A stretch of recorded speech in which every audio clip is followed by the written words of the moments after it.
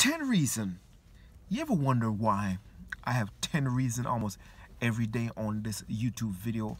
Because my love for the people of God, my love to, dis to want you to be discovered, the God that's in you by you praying, by you consulting, by you reaching and teaching and discovering the God that's in you.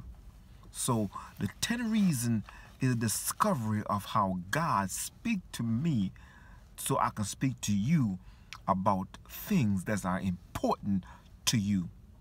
So I'm not doing this just be doing this. I'm doing it because I want you to know the God that's in you.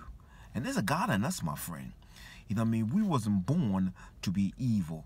We were born to praise God. We was born to worship God. We was born to a, a law God. So God is a good God. If God woke you up this morning, God have intention for you to do good. God's intention for you to be great. God's intention for you to know him through the pardon of your sin.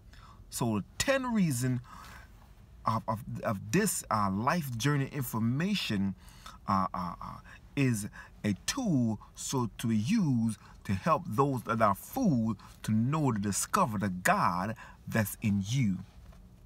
Yes, my friend, it's a discovery of the God that's in you. So the 10 reason is a is a birth to be to be explain to explain the God that's in you. Because every one of us can discover God. Every one of us can be born again. Every one of us can fall on our knees and say, Lord, please help me. Because we all need help, my friend. Don't think your money can help you. Don't think your money can save you. Don't think your money can be your God. It can be your God and it be a, the, the mistake you're making in your life because money cannot save you. Money can't redeem you. Money can buy things, but money can't buy eternal life with him.